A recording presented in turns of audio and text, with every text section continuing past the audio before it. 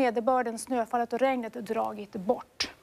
Men vi har ett område som ligger här nere i sydväst och sen till måndag, tisdag kommer den att närma sig. Och framåt tisdag kan vi räkna med att det blir ganska så ihållande snöfall här över södra Götaland i alla fall. Men annars så har vi ett högtryck som kommer in västerifrån och som sen kommer att dominera vädret under början på veckan. Det blir eh, så småningom rätt så klart här på många håll i Norrland men fortfarande kommer det driva in en del snöbyar här i fjälltrakterna och också möjligtvis längs kusten. Tittar vi på det här i sammandrag så innebär det här temperaturer som är omkring det normala, något under i fjällen och något över eh, ner, längst ner i söder. Och när det gäller nederbörden så blir det mest nederbörd här i söder, uppemot en 20 mm i smält form, medan vi på många andra håll bara får lite snöfall. Tittar vi sen vidare så ser vi att det här högtrycket som kom in i början av veckan faktiskt kommer att ligga kvar ända över nästa helg. Och det innebär att vi kommer att ha nordvästliga vindar eh, som tidvis kan vara ganska så hårda faktiskt i Lapplandsfjällen. Och när det, det ger då väder som kommer att vara, kan vara en del snöbyar här uppe i nordväst. Annars så vi ser riktigt soligt väder.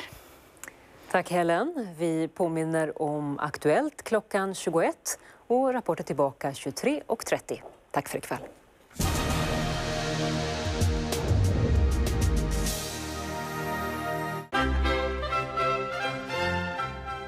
Strax får vi bland annat veta vad en Beatles-autograf kan vara värd.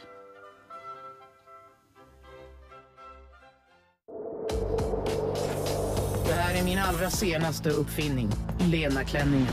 Den är tillverkad av en intelligent syntetisk mikroelektronikfiber. Klänningen har också över tusen olika danssteg inprogrammerade för att användas vid behov i Leksand. Men ser inte Lena sina egna kläder? Inte nu längre. Rätt låt måste vinna Melodifestivalen 2006. Start lördag i ettan. Dessutom har den ett inbyggt stativ.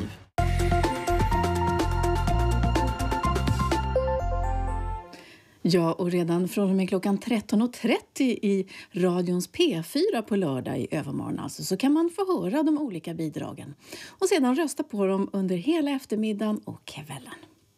Och nu här i ettan så ska vi ut på äventyr med Antikrundan. Wow, säger jag bara. Vet ni vad elefanterna har här? Ingen aning. Riktigt schysst. Jag tycker den är ful. Nej, men ge mig kalla kårar. Oj, McCartney här. Det här såg ju rätt intressant ut. Oj då. Aldrig för sent att bli du öl? Och milda makter. Sleeping Beauty. Oj då. Så den får du ta tillbaka. Är du säker? Nu blir du chockad. Spännande.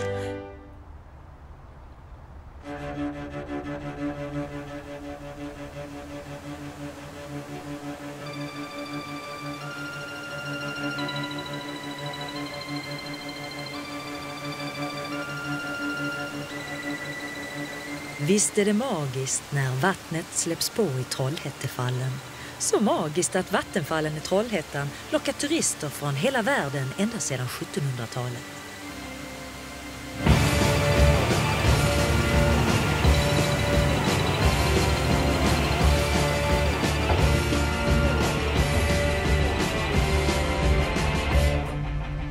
Redan 1740 började Kristoffer Polhem arbetet med att bygga slussar i de 30 meter höga fallen. Men inte förrän år 1800 var Vänern och Västerhavet helt sammanbundna av en obruten transportled. Trollhättans slussar betraktades på den tiden som en av ingenjörskonstens stora triumfer. Och de blev också en av landets största turistattraktioner. Men idag är det nog Trollywood, Sveriges alldeles eget Hollywood, som lockar turisterna till Trollhättan. Här har man till och med skapat sitt eget Walk of Fame. Och nu är det dags för ännu en filminspelning, Antikrundan. Det är bara damer här. Du sett? Det är bara damer. Jag tycker du ska gå till möblerna. Det, alltså, det, är, det är originalet alltså. Fattar du hur gammalt 1642 Ja, är? ja. Nu har du svårt att hålla din mun, Knut. Ja, men det är ju den kände Lippert. Den kände Lippert. Han är inte så snäll som han ser ut, den här mannen. Ska vi ta varsin? Då hänger damerna med. Ja, Det gör de. Får vi dem på köpet? ja, ja. ja. ja men då tar jag båda. Det låter... Vi ska inte förstöra en sån här solig dag för er. Vi går vidare.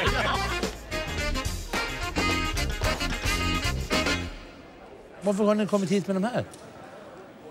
Ja, därför att vi inte vet så mycket om det. Vi har ärvt det Nej, utav eh, våra föräldrar. Ja. Och vi äger det tillsammans. Och vad sa de om dem? Ja, det glömde vi fråga. Och de har gått bort eller Ja, är på hemmen? Och, ja.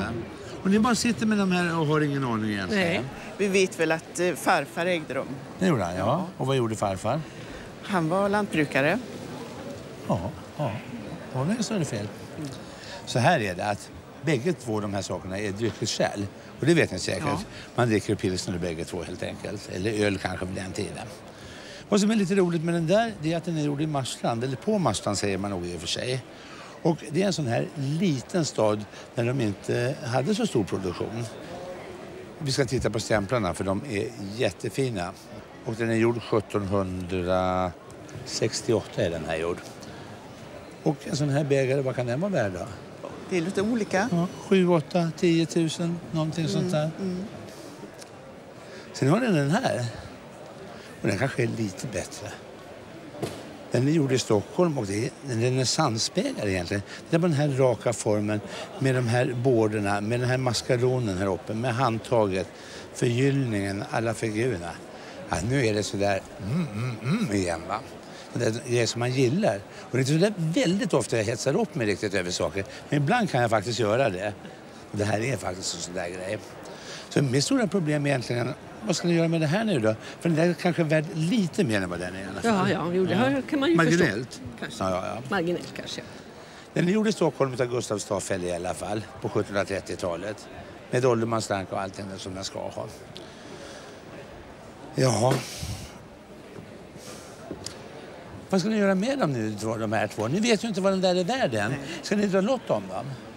Vi får väl se. Vi har inte bestämt Eller ska ni ha dem varannan vecka ja, var? vi kanske kan ha det Ja. Ja. Varannan vecka. Om jag säger 150 000 på den där? Är det okej? Hoppsan sa jag. Det Hoppsan sa du? ja. Ja. Och du sa ho? Ja. Jaha. Och vem ska nu ha den då? Ja. ja, det ger sig. Det ger sig? Ja. Den kan nämligen vara värd bortåt 200 000 också. Oj då. Den är en riktigt, riktigt fin dryckeskanna. Och egentligen ska en dryckeskanna vara 1612, ska inte se ut som den här. Den här är så riktigt, riktigt snygg. Vilka figurer, vilka ljud. Jag blir lyrisk. Jag börjar på känna mig som Knut så snart här och flaxar runt i den.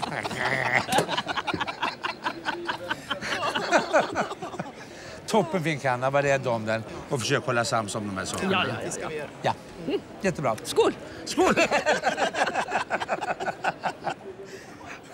Skål! Wow, säger jag bara. Det här är ju lite grann så som man kunde tänka sig att man kände sig en söndag morgon ibland. Eller? Du kan ju tänka dig vad jag tänkte när jag fick den här tavlan. Du har fått den? 92. Jag fick den av min man, min make. Och, eh, Ja. han gissade att du skulle gilla den här så Ja. han köpte den åt dig. Ja. Och det, det gjorde du. ja. Vem är det? Vad är det? Jo, min man var väldigt kraftfull. En mycket kraftfull person. Och eh, det här det återspeglar lite av honom. Och vem är konstnären? Han heter Gerald Steffe och han har haft ateljé, jag vet inte om han har det fortfarande, i Älta. Han är född i Österrike. Mm. Och kom till Sverige ja, 50-60-tal, någonting sånt tror jag. Det var många som kom då som har varit väldigt duktiga och Absolut. presterat Ja, fantastiska ja. saker. Den här måste jag säga, om man får utnämna årets tavla med risk för att man gör en tavla så skulle jag säga att det här är ju bara underbart. Den är ju helt sanslös tycker jag. Helt sanslös. Och Gerhard Steffe är ju kanske mera känd som grafiker. Alltså etsningar av honom ser man Ja. ju då och då. Men det här är ju bara... Det är ju liksom inifrån kroppen han målar. Det gör han. Det finns ett djup i det här. Och jag tycker det är en sanslöst härlig bild.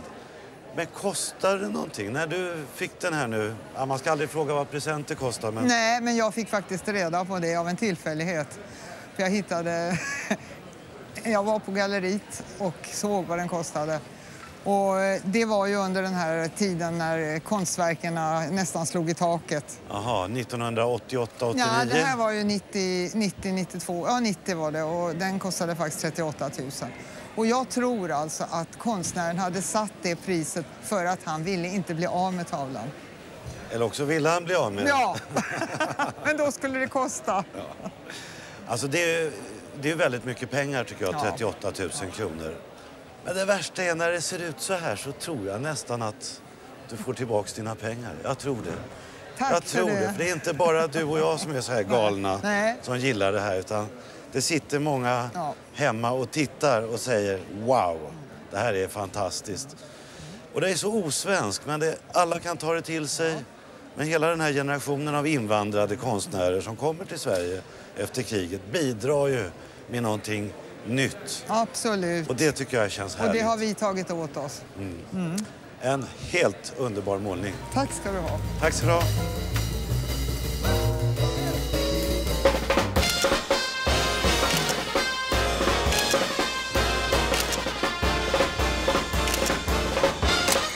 Ja, det är ovanligt med herrar som leker med dockor. Har du gjort det?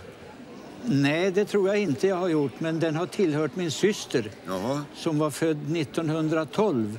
Och eh, hon var åtta år äldre än jag, så jag minns den där som barn. Jaha, minsann. Och varför kom du hit med tygdockan idag då? Jo, jag hade ärvt den här efter min syster som dog i april. Okej. Och eh, så hörde vi att det skulle bli antikrunda så tänkte vi ta den med oss dit. Ja, det är inte så dumt. Ja, visst. Och eh, höra vad den möjligen kan vara värd. Ja, inget annat. Ja, lite. Var, Vi var försöker ju sprida det- kultur och inte var bara... Var är den tillverkad? Ja, då ska jag börja berätta lite grann. Eh, Kette Kruse var en kvinna som försökte skapa en ny form av dockor. Och det här var, hon gjorde sina första försök egentligen på hobbybasis. Jaha. Eh, Därför hon reagerade mot de här porslinsdockorna som inte är särskilt lekvänliga. Nej. Hon hade två döttrar. Så hon började snörpa ihop dockor hemma i köket eh, eh, i tyg som man skulle kunna hantera och leka med. Och det var runt 1904. Så det var de första trevande eh, försöken. Och det blev faktiskt en order. Hon fick en order, jag tror det var från USA, på en 150 dockor. Oj, oj, oj. Och hon vann en guldmedalj, hon vann flera medaljer. Så de här dockorna blev mycket, mycket uppskattade. Enda problemet och enda felet med dem, vet du vad det var? Nej, det vet jag. De kostade fruktansvärt mycket pengar. Så gemene man hade inte råd. Jag vet att ett stort varuhus i Stockholm, NK, sålde de här på 20-talet. Då kostade de 35-40 kronor medan en porslinsdocka kostade hälften. Och eh, det fina med Kruses dockor är att de är märkta. Här har hon en märkning, som, eh, hennes signatur och ett stämplat nummer. Oj. Sitter alltid under foten. Jaha. Eh, Jag undrar om min syster överhuvudtaget har sett det där. Nej, kanske hon inte har. Nej. Eh, Kruses eh, idé var att man skulle kunna hantera dockorna och tvätta dem när de blir Jaha. smutsiga. Och det har tyvärr väldigt många flickor gjort. De har tvättat dem och därför är de flesta Kette Kruse-dockor idag väldigt anfrätta. För de kanske tål en liten försiktig tvätt Ja. med någon fuktig trasa. Jaha. Men det som är vanligt med de här dockorna är att nästippen är alltid skadad. Jaså? Det här är det stora slitage. För det här är ett impregnerat tyg som är målat med oljefärg. Ja, här uppe är det lite skada. Ja, det är obetydliga skador. Ja. Men nästippen är inte skadad? Nej, den är absolut perfekt. Ja, just det. Så från 34 kronor eh, på 20-talet så har väl priset gått upp lite grann. Ja, det förstår jag. Ja. Vad ska vi säga? Eh, Jag brukar aldrig övervärdera utan jag försöker hålla mig lite på mattan. Men eh, jag skulle tippa att värdet ligger runt åtminstone 15 000. Oj, oj, oj. Strålande. Ja, visst. Var rädd om den. Jo, den ska stå i finsoffan. Oj, titta där. Du ska inte få gå före mig i kön, Knut. Du är lite upphetsad? Ja. ja. Vad rysligt vad vapen här är. Va? Det är, farligt. Får Nej, nej, nej, nej. Kom nu, kom Knut. Jag ser lite. Nej, nej, nej, nej.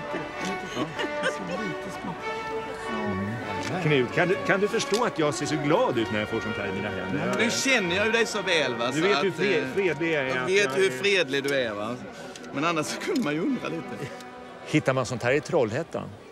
Nej, den eh, inköpt i familjen på 20-talet. På 20 20-talet? Jag tror det. 30 kanske också? Ja, 30 mil. Kanske 40 också, eller? Ja, vi vet inte riktigt. Det är ju en fantastisk va? Men den ger mig kalla kårar. Och det finns någonting som ger mig oerhört kalla kårar. Och det är namnet Konrad. Det är en tysk som var verksam 1900-talets första hälften. Eh, och eh, var mycket nere i Dresden där och tittade på vad som fanns i rustkammaren. Och sen så tog han till sig de absolut bästa hantverkarna som fanns då. Smeder, gravörer som behövdes för att tillverka en väldigt, väldigt fin varg. Eh, Det är så här att än idag så är det många som är osäkra på, då menar jag internationella storsamlare, om det är riktigt eller inte när det är väldigt, väldigt bra skick. För man vet att han kunde göra mästerligt. Va? Eh, värjan i sig grundtyp ifrån runt 1600. Va? Och det här är alltså en samlares dröm att hitta en sån här värja. Va? Och det var det då också när Konrad var verksam och det visste han. Han visste att det fanns många med stora plånböcker som ville ha fina värjor. Va? Och det här kaven var någonting som han, han eh, många gånger tog just den här, du ser att det är som en rutmönster i. Va? Eh, dekoren här är jättefin, det finns alltså förgyllning kvar på fästet och så. Och det är lite slitet, lite patinerat och allt. Och sen har vi då en väldigt fin klinga då som är märkt här i Toledo. Det är ju stor klingtillverkare då, det här den gjordes i Spanien. Så att den ser fullkomligt bra ut. Och det obehagliga är att jag kan inte sätta mitt lillfinger och säga titta här är fel proportioner eller det stämmer inte riktigt. Va? Utan det är någonting som andas att det inte är riktigt som det ska. Va? I mitt fall måste jag säga när jag tittar här så är dekoren för mig det som gjorde att jag först tänkte att nej, nu har Conrad varit framme igen. Och vi har hittat en del av hans värjor här i Sverige. Och han är så pass eh, berömd så att även Konrad-värjorna kostar ganska stora pengar. Att de är så oerhört fint tillverkade och bästa, bästa hantverk. Eh, jag känner alltså så här, jag känner mig till 98,4 procent säker att det är så. Men det är oerhört obehagligt med de här 1,6 procenten. Värdet, om vi säger nu att det här är en Konradvärja i den här, i den här kvaliteten, 40 000 kanske någonting.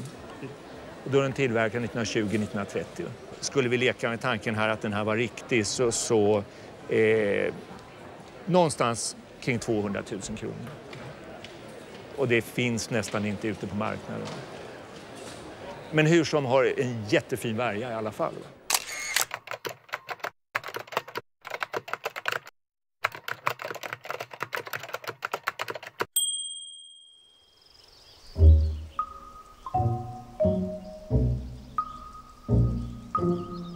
Vilken häftig hjälm. Ja, den är inte dålig.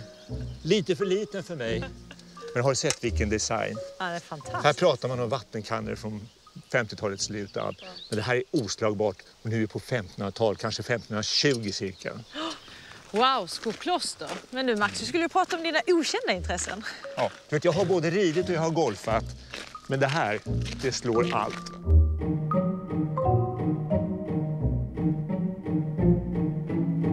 Här är alltså helt fantastiskt. Det har funnits här, de här föremålen de har funnits här sedan 1600-talet.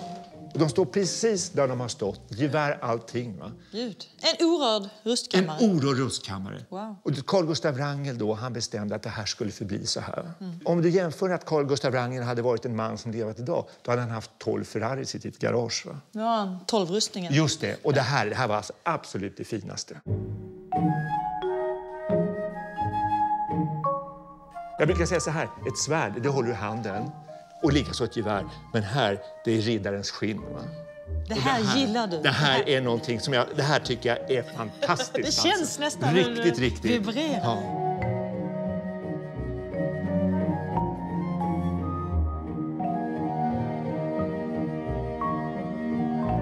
Men du, varför har du blivit så intresserad av vapen och rustningar och Ja, det är säkert sen 6-7 års åldern alltså. Jag brukar säga det är en medfödd ska- skada som har vuxit med tiden. Va? Vi har haft jäkligt kul åt det också för det är fantastiskt. Va? Och just här, det här är ju mitt mecka. Va? Du får gärna låsa in mig en vecka här med ett glas vatten. Jag tror jag överlever det. Du vet, när vi pratar hantverk, då kan det inte bli bättre än så här. Det här är alltså Skoklosterskölden tillverkad i Antwerpen 1561. Gud. Ja, men trots det, det är inte min favorit här. Nej, vilken är din favorit Det ska jag visa dig.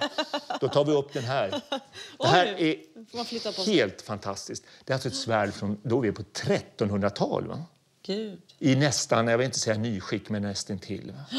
Så här håller man ett föremål alltså som är över 700, som är 700 Måste år gammalt. Det tickar fortfarande. Ja. Och om jag lägger ner det här så ska du få se en ännu mer fantastisk sak va, som är helt otrolig. Baljan från 1300-talet. Originalbaljan till. Originalbaljan.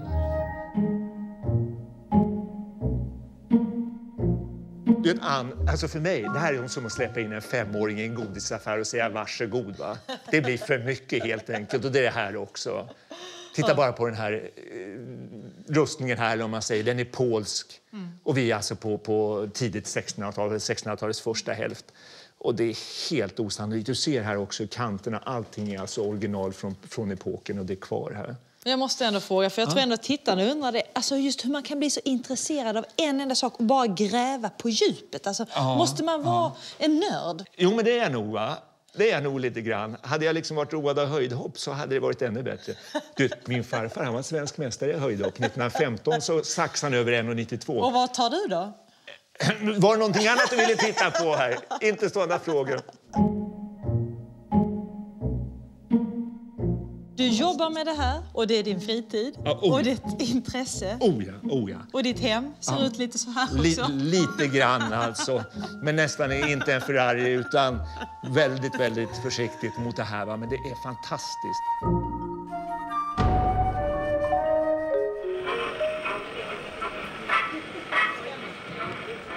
Slita den här skivan som du sa?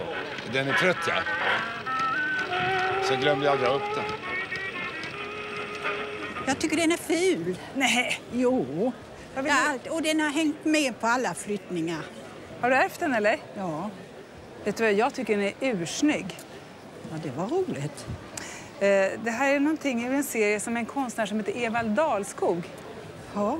eh, ritade för eh, Bo Fajans och tog fram till den här stora utställningen i Stockholm 1930. Han hade precis kommit till den här fabriken då och, och eh, fick i uppgift att ta fram lite ny modern keramik som skulle visas. Så att han eh, eh, gjorde lite strama former och starka färger på glasyrerna. Och det, den här gröna känns ju verkligen 30-tal tycker jag. Eh, det är lergods man gör vid, vid Bo Fajans. Den här är väldigt prydligt signerad också. ED för Evald Dahlskog och Bo då för Bo Fajans och D9 för, för modellen helt enkelt. Ja. Menar du att du tycker att den är ful verkligen? Nej, nu blir den mycket snyggare. Eller hur? Ja. ja. Jag tycker att den ska kosta några pengar då? ja, det vet jag inte. Men har den hängt med så länge så får den hänga med lite till. Ja, det är bra det. Jag tror faktiskt att på, eh, man får nog faktiskt ett par, två, tre tusen kronor för den när man säljer den. Ja, det var inte dåligt. Det var det inte. Hej. Men det kanske kommer fram ur skåpet då, eller? Ja, ja, den får ju ha en bättre plats. Ja. bra. Det här är ju sånt som man blir lycklig av att se kan jag säga. Det här representerar ju kanske bland det finaste vi har inom svensk 1900-talskonst. Hur har du kommit över dessa fina målningar? Ja, det är, vi har dem i släkten och eh, det är så att en släkting han var kulturrecensent på Göteborgstidningen. och han var god vän med de här konstnärerna. Och den ena är ju inköpt, den, den var inköpt i Ivarssons då 1935. Mm. 1500 kronor.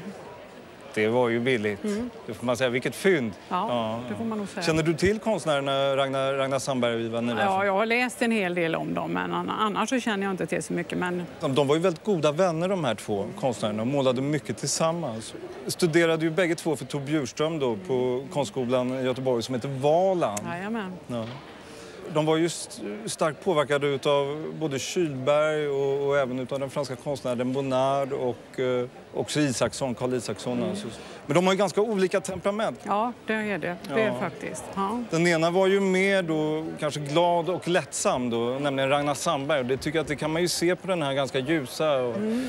lätt skimrande mm, färgskalan. Medan Ivarsson då var den som var lite mer svårmodig och, och, och, och kanske hade lite lite svårare för sig i, i livet och lite mer problem med sig själv och sitt uttryck. Men det hade ju Sandberg också. Han hade ju också perioder så att säga. Ja. Så det var lite mörkare i början av hans liv så att säga. Va? Ja, det var det. Och Mm. blev ljusare sen. För att Sandberg höll ju nästan på att sluta måla under en period. Ja. Men kom sen då i kontakt med Ivarsson i samband med att de, jag tror att det var så att de var ute i Karl Kybergs sommarvilla. Ja, och träffades där Mm, och, och, och då inspirerade Ivarsson Sandberg till att börja måla igen. Det som är typiskt för, för Ragnar Sandberg från den här perioden, den här är ju då målad 1935, det är ju det att han är väldigt fokuserad på, på rörelse och, och på ögonblicksbilder. Och han upprepade då ofta sina teman också så att han kunde komma tillbaka och måla cyklister åter och åter igen. Mm. Alltså. För att uppnå en slags fulländning i sitt måleri. Medan då Ivan Ivarsson, där är det ju färgen som är viktig. Och han, man kan, det finns ett citat som heter att jag skulle vilja äta färg, som Eva Ivarsson säger. Det jag tycker man kan säga om de här månaderna är ju det att de har ju alla rätt bägge två. Alltså de är ju från rätt period, rätt motiv och rätt färger. Så att de betingar ju naturligtvis höga värden. Den här fantastiska målningen av Ragnar Sandberg är värd i varje fall mellan 700 och 800 000 idag. Och eh, den här härliga Ivarsson-målningen då är värd mellan 500 och 600 000. Ja. ja, det är inte dåligt. Nej, då har det varit en ganska god eh, uppväxling i varje fall Ja. på det ekonomiska Ja, värdet. Så ja. det, Och jag trivs bra ihop med tavlorna. Du det är det det? viktigaste. ja. Nej, jag måste gratulera Ja, till den här säsongens finaste målningar. Jaså, det tycker du? Det blev ju en lyckad Ja, det blev det. eh, resa också. Ja, för de verkligen. hade ju stigit i värde ganska Jaja. mycket sen Ja. du fick dem värderade Det sist. får man nog säga, ja. Och visst Ja. är det bra ändå att veta? Ja, det är det. Faktiskt. Bland annat för försäkringsvärden och sådana här saker.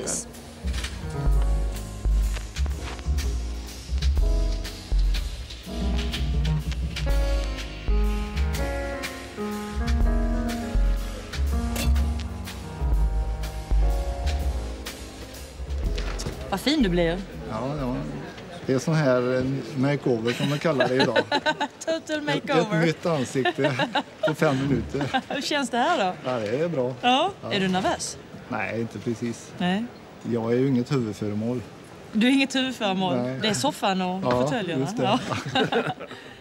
Ja du, här sitter man lite som en kung faktiskt. i den Ja, här det, gruppen. det är ju en lite speciell sak. Ja, vad vet du om den? Nej, jag vet egentligen ingenting om den. Eh, Det är ju arvegods ifrån en gammal faster till min hustru. Ja. Och det som, eh, hon kallar den för Napoleongruppen, eller möbeln. Och bara det kittlar ju lite grann. Va? Ja, precis. Brukar du använda den? Ja, vi använder den. Den står, alltså det är ingen museigrej utan vi använder den jämt. Alltså Napoleon eh, möbel är ju både rätt och fel. Jaha. Därför att den här stilen som den har, den är ampir. Ja. Eh, och det är ju Napoleon som, som så att säga, det är under hans period som ampiren kommer till. Ja. Och Napoleon var ju krigare. Ja. Eh, och han ville, blev makthavare och ville ha något riktigt sådär som, som var maffigt i sina slott och sina eh, ställen där, där, där man då verkade. Ja. Och då plockade man ju alltså idéer ifrån de gamla romarna, grekerna och Egyptien. Ja. Det som var liksom lite stort och mycket figurer. Och här har vi då bevingade lejon och, Ja, ja, ja. och lite dramatiskt sådär. Så det är en krigarsmak det här får jag Ja, säga och någon som har verkligen fått makt och vill visa det för andra. Eh, så stilen är ampir men eh, möbeln är väl inte riktigt så gammal då. Nej. Eh, Vilken tidsperiod? Ampiren, det- då är det 1805, 6 något sånt där va? Jaha. Fram till 1830 kan man säga är Ja, väl ja. då den Ja. intensiva perioden. Eh, nu har jag tittat lite på din möbel och den känns ju inte fransk. Nähä. Utan ska jag gissa så tror jag att den kan vara gjord i Tyskland eller Österrike. Ja. Men i ampirstil. Så att Napoleonmöbeln är, är en rätt benämning ändå. Ja, får ja. Det som är mest utmärkande är ju de här häftiga bronserna då. Ja, ja, just det. Stora bevingade lejonen. Eh, och de är då brons men inte förgyllda. Under ampirtid så var väl det mesta av den här typen av bronser var då förgyllda också. Eh, och det har man inte gjort på de här då. Så det här är, då en ampirstilgrupp, Napoleongrupp, eh, ifrån början på 1900-talet. Den här möbelgruppen är maffig, Ja. eh, och, och liksom ser vä- väldigt uppseendeväckande. Och, och det gör ju det att man kan placera den i en gammal miljö, den kan stå på ett gammalt slott. Ja. Eh, Men den är så pass extrem och, och, lite uppseendeväckande så att även i en väldigt modern minimalistisk miljö med, med vitt och, och modern konst och glasbord Ja. så sätter man in den här va, då blir Ja. det liksom den där grejen. Och det är lite, lite populärt idag. Vi ska säga det om träinläggningen här också att, att när man ser den på lite håll så är väl det det första som gör att man säger att den inte är från ampirtid. Jaha. För att den här är väldigt jugendpåverkad. Ja, ja. Ja, om man säljer en sån här på auktion idag då. Eh, då skulle jag tro att man får i storleksordningen någonstans mellan 100 och 140 000 Ja. i orenoverat skick. Ja, ja. Så att, att eh, det var en ganska bra affär tror jag, för jag tror inte hon gav så mycket förhållandevis. Nej, det var väl eh, åtminstone 50 år sedan. Så det, jag vet inte då. Förlåt, jag måste bara fråga. Du verkar inte sådär jätteglad och överraskad över priset. Ja, det, priset är, jag har på att säga, det är bara intressant för oss som ser på programmet. För mig är det inte så, spelar ingen roll. Men det är ganska mycket pengar ändå för en möbel som man inte vet så mycket om. Nej, det är klart det, det är det men... eh, Eller tyckte du väl lite? Nej, det, jag hade ingen uppfattning från början Nej. om det. Fick du svar på dina frågor då? Ja, det fick jag. Men jag hade hellre sett att det hade varit en, eh, krigsbyte eller något, något spännande eh, bakgrund. Va? Det var det lite kanske- för tråkig historia Ja, ja, helt enkelt.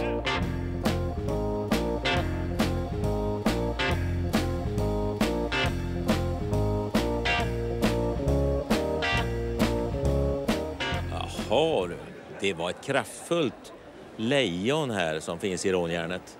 Och en vacker blomsterdekor som är lite mera barock egentligen. Och om vi vänder på steken så där. Ja, här har vi, förstår du, ett dubbelmonogram under en krona som ser ut att vara ja, försök till friare krona, men det blir nog fusk. Men årtalet, vad står det? 1672. Ja, det är lite häftigt. Ja, det är det. Vad är det för en släkt nu då som vi har vandrat i? Ja, det heter Wennersten heter de. Ja. Och det har vi följt tillbaka till eh, 1738, den som är äldst där. Och till yrket var de? De var smeder allihopa. Även före den här 1700-talskillen så var det smeder i familjen? Troligen är det varit så, för de säger att det är vallonsläkter. Ja. Och det här är ju ett exempel på riktigt högklassigt smide. Eh, och beställningsverk säkert av någon herreman. Monogrammet är helt klart upplagt som ett 1600-talsmonogram. Vi läser ISBC i de båda dubbelmonogrammen. C, I, S och B. Ja, just det. Och så sedan 1672. Och det blir ju som sagt lite annorlunda om man vänder det då i den bakade formen. Har du ätit goron någon gång? Nej, det har jag aldrig gjort. Men det måste nog bli efter det här. Ja, det måste det göra förstår du. För att det går faktiskt att hitta recept också. Mm, vad fint. Om inte annat så finns det via Kulturen i Lund kan man få eh, recept på goron smet med kardemumma i. Det var fint det.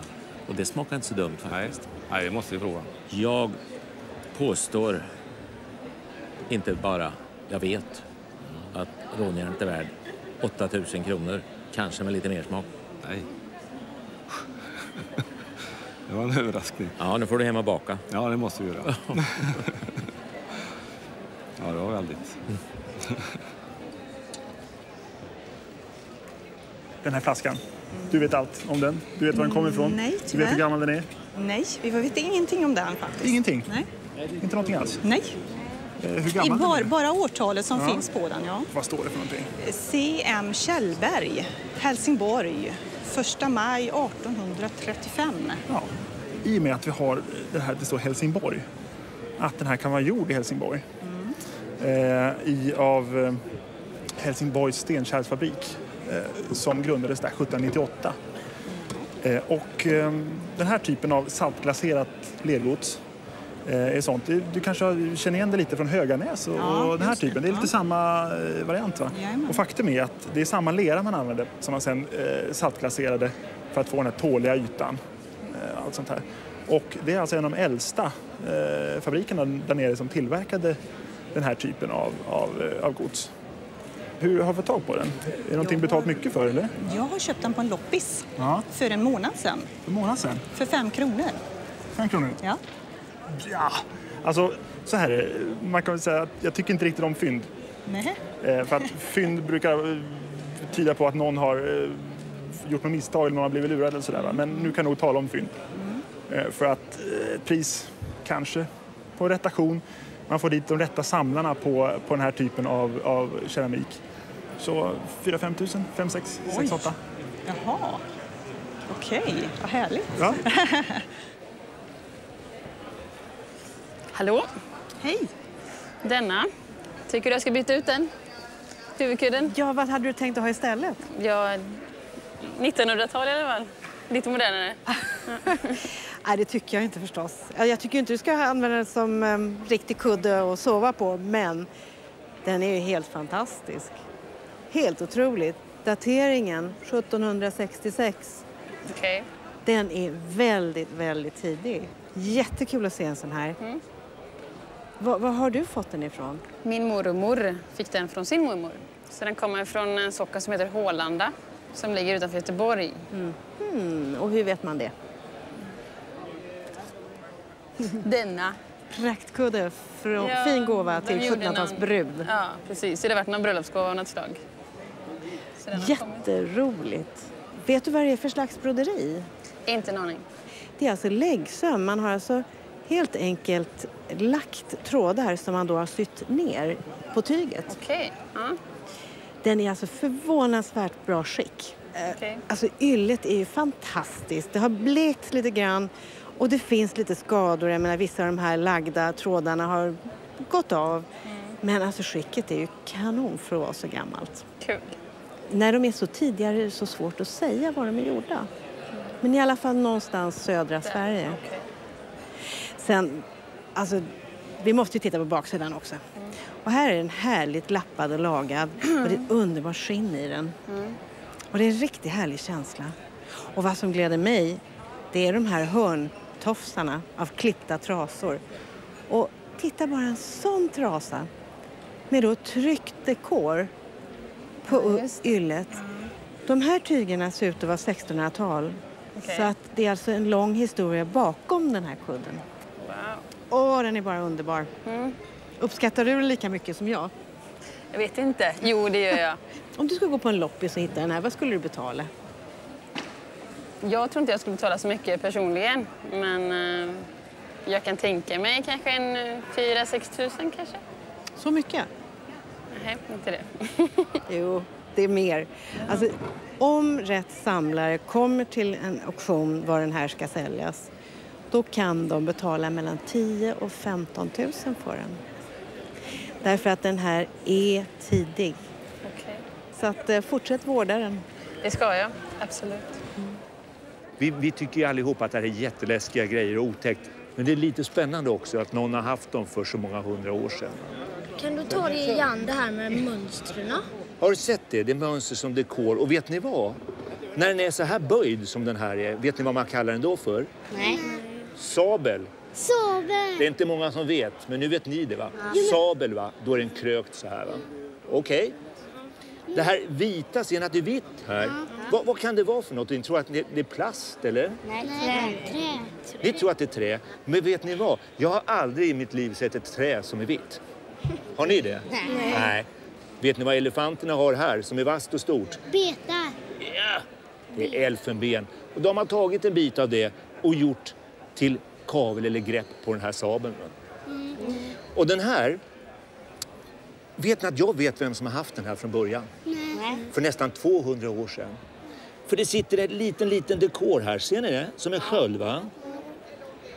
Och det där är Danmarks vapen. Så det är en dansk officer. Ni vet, officer det är en sån som bestämmer över andra soldater. Va? Det är en dansk officer som har haft den här för ungefär 200 år sedan. Det är lång tid tillbaka det. Va? Och vet ni vad?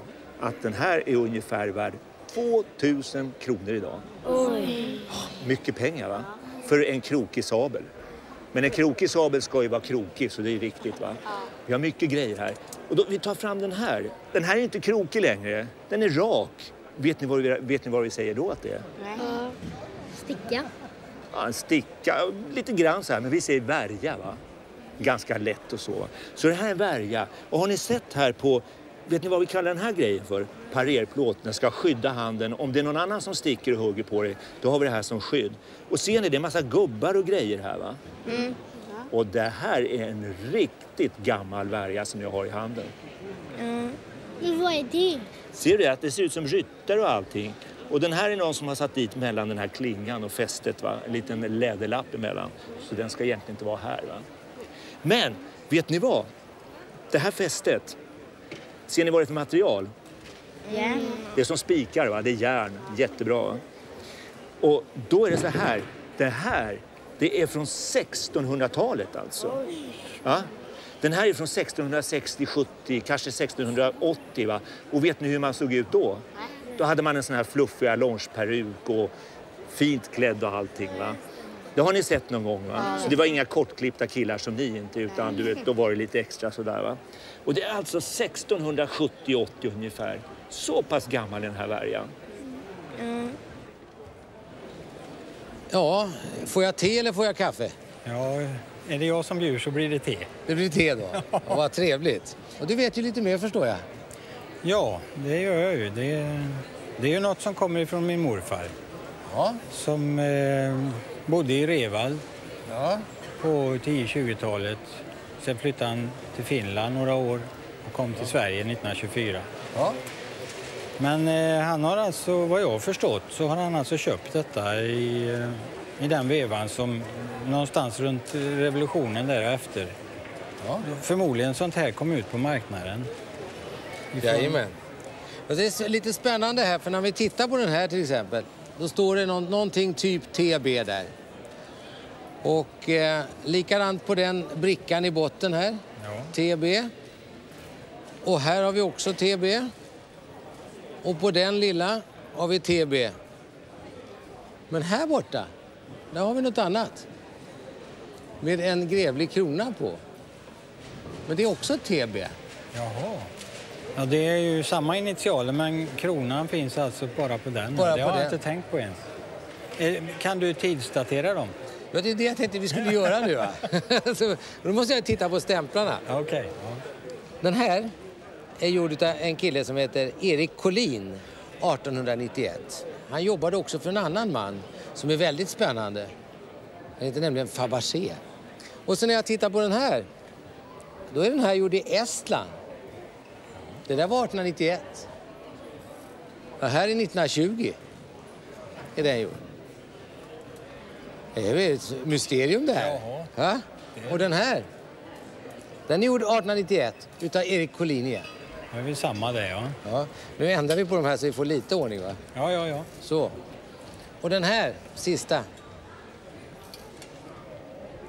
Den här är gjord eh, 1891. Men den är gjord av en mästare som heter Gratchev istället. Och han är hemma var då? Han hör hemma, alla de här pojkarna jag har pratat om hör hemma i Ryssland. Och de har eh, alltså då gjort det här i Sankt Petersburg. Jaha. Nu är de här två, de hör ju ihop. Ja. Det var de två som var gjorda av Erik Collin som i slutet på den här tiden jobbade för Fabergé. Brickan var Gratchev, den var Gratchev och den här var gjord i Estland 1920. Den är senast alltså? Jag tror ändå vi får ihop det lite. Att han måste ha kompletterat. Det kan ha försvunnit. Han kan ha haft en stor kaffekanna här istället. Och så har den kommit bort helt enkelt. Så det här är värt lite pengar. Vad tror du? Ja, vad är kilopriset? Kilopriset är ungefär 1,40 per gram. Och så säger jag att det är ungefär 3,5 kilo. Så det blir ju inte mer än stort sett 5 000 kronor. Nej, det är klart. Nej, det är ju billigt förstås. Det är för billigt. Ja. Ge mig ett bud. Ja, du. Vi får i alla fall dubbla. Vi dubblar upp i 10 000. Och så lägger jag till att den är värd någonstans mellan 50 och 75 000 kronor. Ja. Ja, det är ju ingen dålig grej. Det var inte dåligt va? Nej. det kan man gott servera och. Verkligen. Då kan man njuta också. I need somebody help.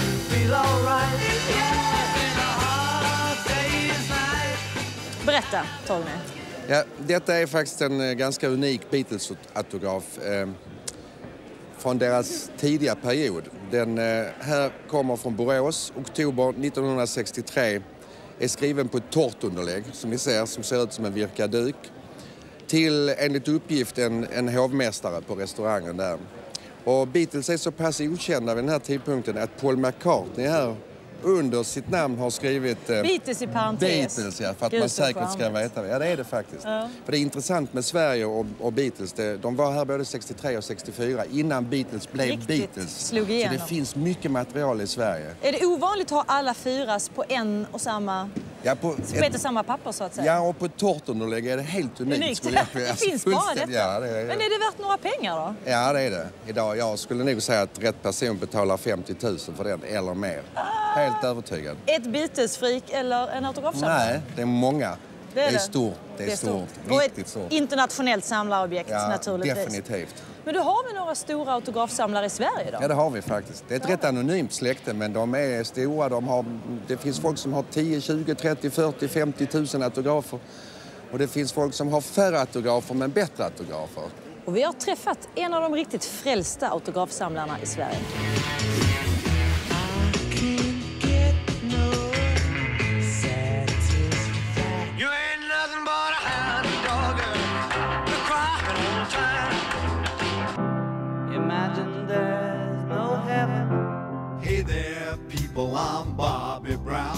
Välkommen in här och Tackar. och se lite grann. kolla här, redan direkt på väggen. För de allra flesta är det något övergående, ungefär som tonårsfinnar.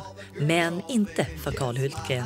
Hans autografsamlande har hållit i sig. Idag äger han närmare 10 000 autografer och han ägnar många timmar i veckan åt sin samling. Det har väl berikat mycket av mitt liv. Att man lär sig väldigt mycket kring olika personer och eh, deras musik och deras böcker. Det har gjort att jag har rest en hel del och besökt många platser som är förknippade med vissa personer. Eh, här har vi då eh, prins Reinar och Grace Kelly. Under så är det deras dotter Stephanie som har signerat en skiva som vi hade med när vi träffade henne nere i Monaco. Mm. En ganska ovanlig sak det är ju en bok utav Madonna. Jag tror att den är ganska unik vad det gäller signering. Hon har signerat sex ställen plus omslagspåsen.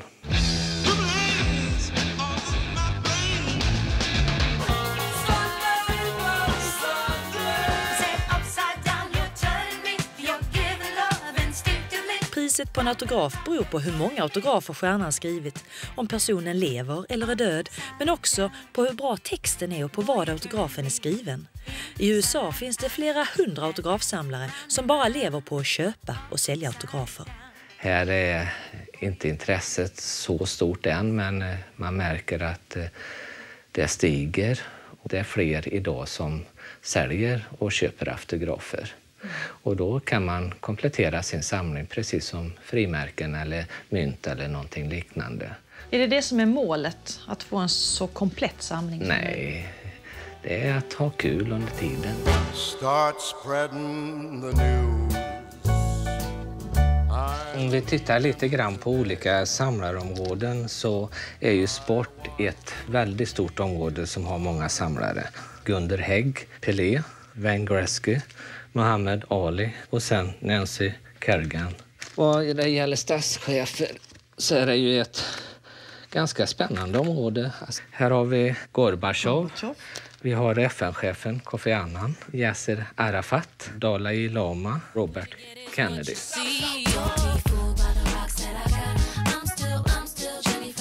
Här har vi lite yngre. Det är Jennifer Lopez. Här är ett julkort från Christina Aguilera. Backstreet Boys. Och här är Britney Spears. Har du en sån här drömautograf? Gandhi tror jag är en av de som jag sätter högst på listan. Karl, jag känner mig så inspirerad nu att starta en autografsamling. Jag tänkte att, att du skulle få äran att bli den första i min samling.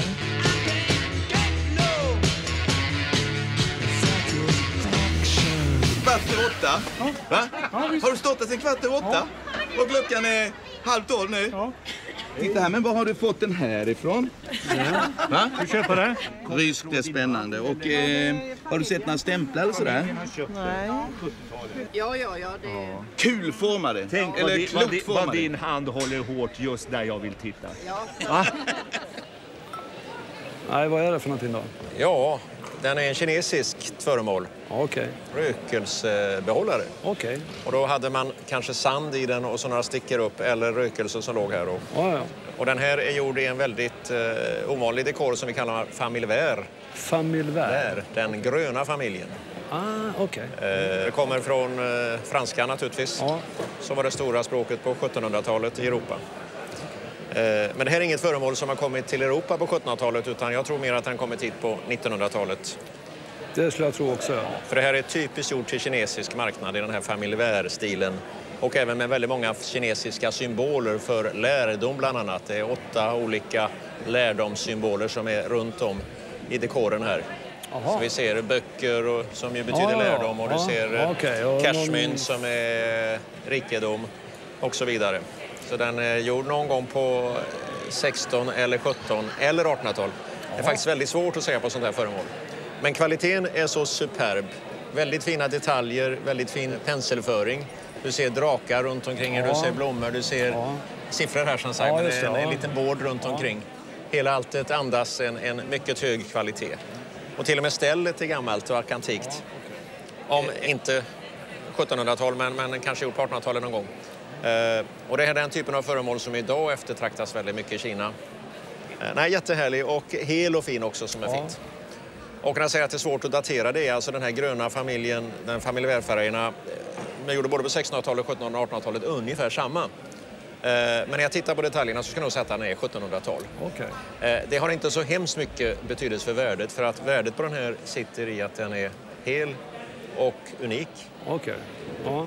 Så är den, den var ärvd eller? Ja, det, jag har fått den av min mor som gick bort för några månader sedan. Ja. Så beroende lite grann på marknaden vad, vad, vad, om man nu skulle sälja den här. Det är alltså väldigt eftertraktad, fruktansvärt unikt objekt. Så skulle den kunna kosta allt emellan 10 000 kronor och 100 000 kronor. Oj då.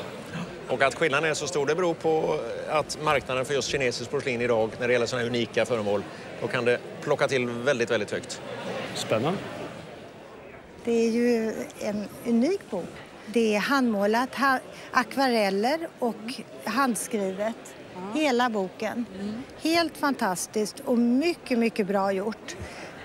Det är många bilder, växter, djur, eh, fiskar, eh, apor, det finns allt. Hela naturläran, skalbaggar.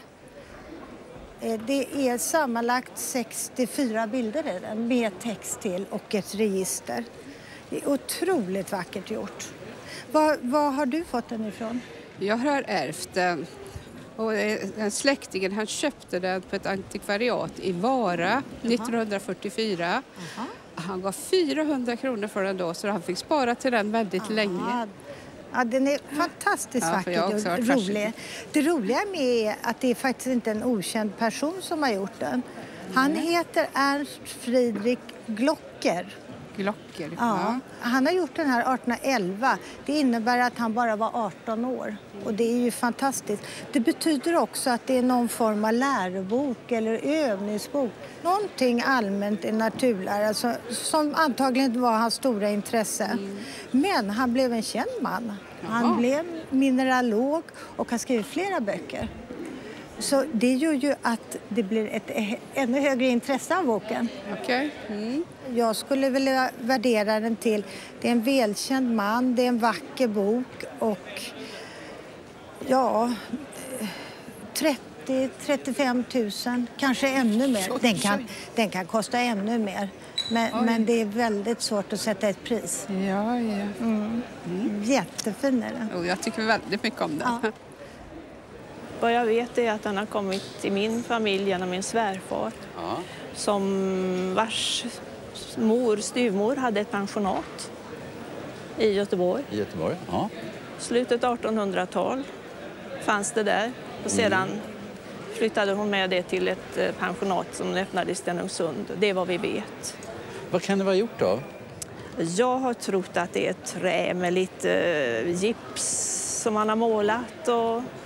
Och man ser på skadorna här Ja. på, på putton som ju är då en, ska vi säga stilmässigt så är det en barockputto, alltså en, en tidig 1600-talsform. va? Mm. Men den är inte så gammal då. Nej, det tror men, inte jag. Men väldigt fint skuren. Och ser man på där han har tappat fingrarna så är det ju rent trä. Ja, och det ser jag även nu på den här biten som saknas Just här. det. Och sen så sa du lite gips och det kan man ju se kanske här på bordet då att, att man har på träet lagt en gipsgrund där man har fäst då den här fina förgyllningen som, som Mm. nu är lite, lite nött idag. Mm. Och så står den på en liten volutformade små fötter där. Ja. Hör du, det här mönstret här uppe på skivan, om man skulle tänka land eller sådär, ger det några Då skulle jag associationer? gå till Orient. Just det. Ett orientaliserande mönster. Eh, Och eh, lite moriskt nästan. Ja. Och då hamnar vi alltså i Spanien, Italien sådär. Fast med påverkan från, från Nordafrika, Marocko och sådana här länder. Just Så- Italien har jag själv gått och funderat på lite grann. Precis. Så det är en morisk påverkan. Och sen får vi säga då att själva den här figuren, det är en ren europeisk foto som man ser dem i kyrkorna i, i södra Tyskland och sånt där. Va? Och de, de här små fötterna med bladornamentik, den här, det är en ren barock, europeisk barockform. Och så har det här smält samman i slutet på 1800-talet när man tycker det här är roligt och man har gjort en guéridon om man ska nu svänga sig med fina uttryck. Eh, och ofta har de kanske varit i par så det har stått en till. Va? Är det värt några pengar? Nej, Inte speciellt mycket kan det inte vara. Eh, och nu är det lite rickigt och så men om man pratar om 25, 30, 40 tusen så tror jag att man hamnar ganska rätt. Och kanske lite åt den övre delen av skalan. Där. Så du får vara lite rädd om den här så att den inte går av på mitten när ni Ja, bär hem den nu. vi har en säck att bära den i. Det är bra. Jaha, minsann.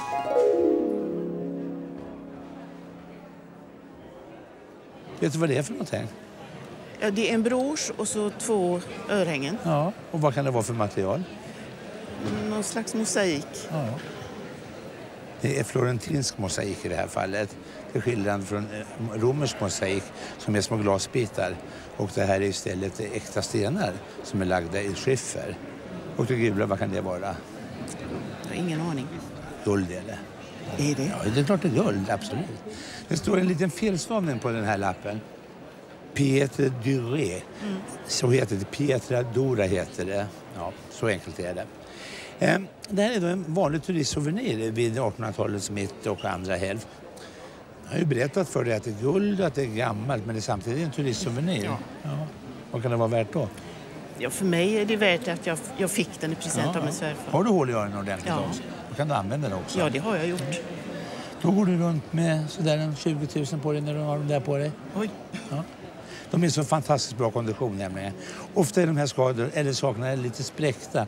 De är lite fragila. Tappar man dem i golvet kan de spricka och små bitar kan falla ur. Men de här är absolut perfekt kondition. Underbart eh, uppsättning är det. Ja, jag tycker mycket om det. Ja. Eva, du måste kolla på den här. Det här gillar ju jag. Va? Praktiska hushållsföremål. Det är en antikvitet i min smak det. Det här är alla husmödrars dröm för den drivs utan el och funkar till allt. Va? Du ska vispa grädde i den, du ska göra din egen majonnäs som en duktig husmor. Och det här funkar som citruspress om man Ja. tar bort veven. Och bakelit och glas. Va? Och i originalkartong. Vad har ni? En sån Va? där det har ju jag haft. Har du haft en sån? Jag har haft en sån där. Köpte på auktionen 1970. Den var gammal redan då. Men min är utsliten. Den där är ju jättebra. Den är det. Du har är ju använt det. Jag har använt min. Och den här, och den här då? Den Jag skulle kunna vara kund på den där också. Oumbärlig i hemmet, eller hur? Går inte att leva utan en sån. Den är aldrig använd. Det är alltså min mormor som ville vara snäll och ge någonting till sin bror som bodde ensam på landet. Och han fick den här. Och när vi röjde efter honom så stod den kvar i sin originalkartong. Aldrig använd givetvis. Otacksamt. Ja, han han nog gick inte miste mycket om. grädde. Är den värd någonting då? Ja, men 250 kronor ska jag absolut... Jag tar den. Vad säger du? Ja, jag ångrar att men jag kan också köpa den. Den var jättebra. Många spekulanter om budet. Och vad är väl bättre än att avsluta det här programmet med en superpraktisk grej som vi alla vill ha. Det var allt för Antikrundan härifrån Trollhättan. Nästa vecka besöker vi Flen. Missa inte det. Ja. Nästa vecka åker vi till Flen. Vad är det som får Bäckman att oa hela dagen? Du ska titta på riktigt, inte stå bara så här. Utan du... Charlotte Ekeblad som miljöminister. Den där gaphalsen i gummibåt. Ge henne ett år. Gör det. Politiska intriger från maktens centrum. Välkommen. Tack. Måste ha blivit överraskad när Viksten ringde. Ja, verkligen. Det blev vi alla. Skål på dig. Ministerjävel. Se Alexandra Rappaport, Reine Brynolfsson och Susanne Reuter i Kronprinsessan. Seriestart 27 februari i ettan.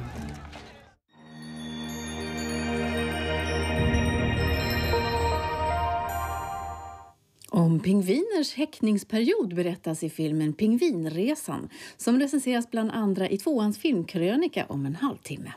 Och nu till Piemonte och de olympiska spelen i Turin.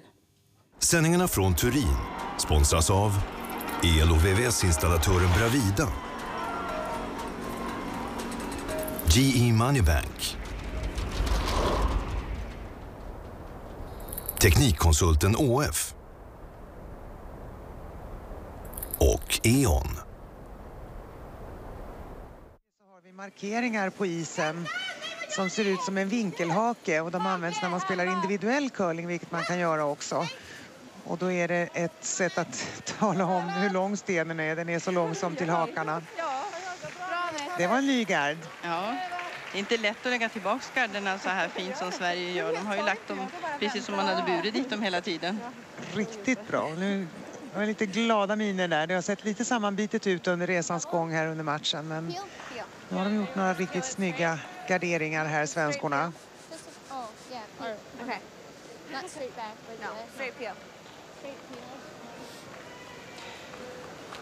Jag ser det fortsätter det se ut så här så finns det ju faktiskt en chans för Sverige att de ska kunna stjäla en poäng i den här omgången. Men det vore ju toppen. Då har man ju vänt det här tempot till sin egen fördel.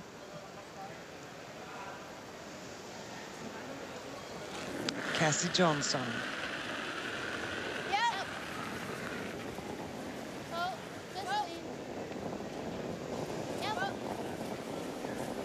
Kommer att snärta bort garden. Och så fort stenarna går ut i sargen, skumgummisargen som omger banan, så är de ju ur spel, borta.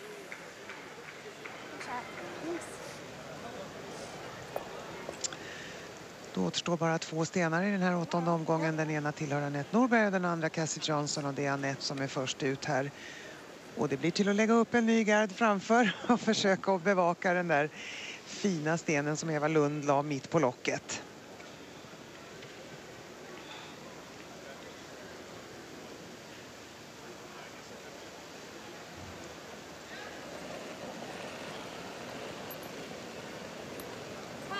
Viktig sten det här. Hake mittemellan! Lite längre ut! Hake!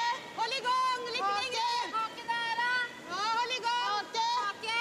Håll igång! Hake nära! Ja, vänta! Nära! Nära! Nära! Hake! Nära! Vänta! Stanna snart! Nej! Framkant! Nästan. Ja, det är bra nu. Bra. Bra. Ja. Jag undrar, om Ja, inte USA, jag undrar om inte USA ångrar att de inte har försökt ge sig på skotten tidigare för att det har inte blivit enklare direkt. Nej, nu har de ju försatt sig i en situation där de har ett jättesvårt slag att göra med sin sista sten. Ja, och det är ju för att i bästa fall åstadkomma noll poäng. Det är ju svårt. Möjligtvis ta en etta när man istället kunde ha bara snott om taktiken och försökt att eh, göra någonting själv och, och gå på att ta två poäng. Ta för sig lite mer helt enkelt i omgången.